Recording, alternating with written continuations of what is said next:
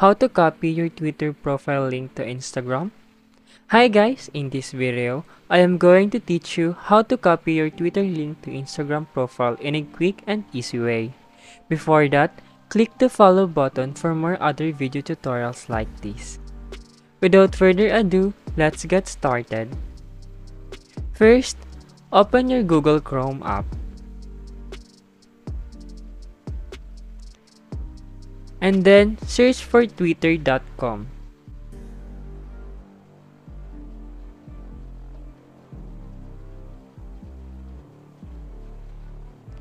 After that, log into your Twitter account. When you successfully enter your account, click on your profile.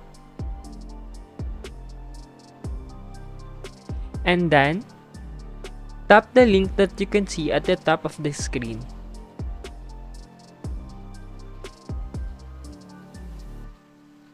Then click the copy icon.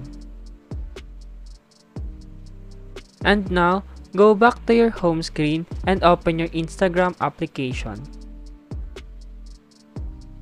Click your profile icon at the lower right corner. Then press Edit Profile.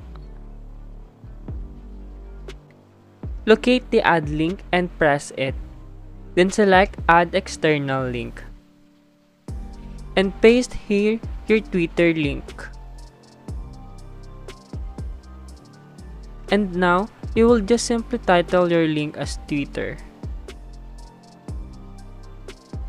And then, when you go back to your Instagram profile page, you will see that your Twitter link is now added to your biography.